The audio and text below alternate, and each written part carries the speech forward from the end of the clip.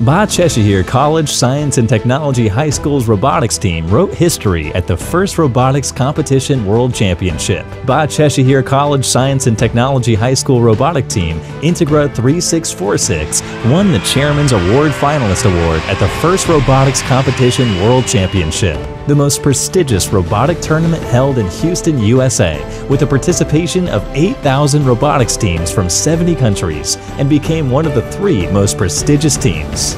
By winning the Galileo Division Winner Award, Integra 3646 won two of the most important cups in the World Championships and assumed the title of the first and only Turkish team.